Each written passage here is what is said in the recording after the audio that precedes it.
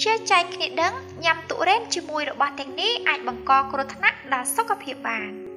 អត្តបទទស្សនាអបអសាទរខូបលើកទី120ឆ្នាំរបស់ក្រុមហ៊ុនធានារ៉ាប់រងអាយុជីវិតឈានមុខគេមកពីប្រទេសជប៉ុនដែលអ៊ីឈីឡៃដែលអ៊ីឈីឡៃនៅក្បែរលោកអ្នកជីនិកទុរេនគឺជាផ្លែឈើសម្រាប់ចិត្តរបស់មនុស្សជាច្រើនប៉ុន្តែមិនមែនគ្រប់គ្នាសុទ្ធតែញ៉ាំវាបានត្រឹមត្រូវនោះឡើយ។ សម្បូរទៅដោយជាតិសរសៃវីតាមីន B9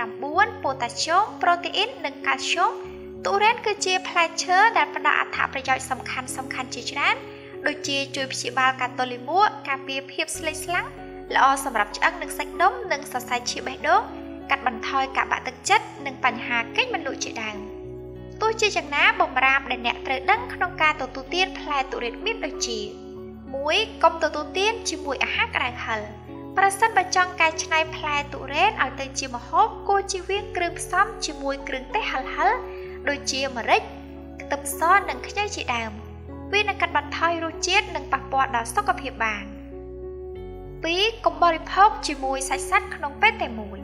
ដូចជាសាច់គោសាច់ចៀមសាច់ជ្រូកនិងគ្រឿងសមុទ្រផ្សេងទៀត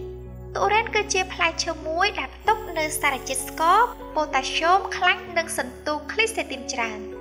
ទន្ទឹមនឹងនេះសាច់គោគឺជាប្រភពប្រូតេអ៊ីននិងខ្លាញ់ជាពិសេសខ្លាញ់ឆ្អែតអាចបង្កើនកូលេស្តេរ៉ុលក្នុងឈាម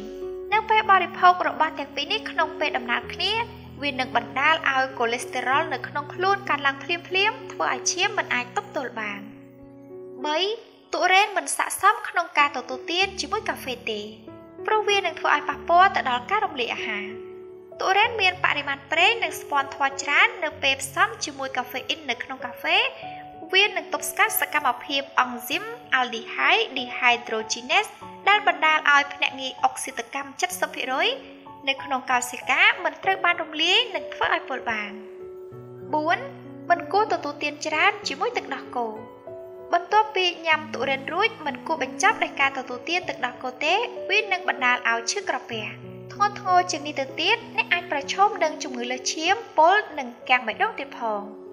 វិធីសាស្ត្រដ៏ល្អបំផុតនោះគឺប្រសិនបើអ្នកមិនប្រកាសចិត្តថាខ្លួនបរិភោគត្រឹមត្រូវទីនោះត្រូវសង្កេតអាការៈខ្លួនឯងពេលញ៉ាំហើយបើមានអ្វីខុសប្រក្រតីសូមប្រញាប់ទៅមន្ទីរពេទ្យជាបន្ទាន់ចែករំលែកទៅកាន់មនុស្សជាទីស្រឡាញ់បើអ្នកពេញចិត្តវីដេអូនេះ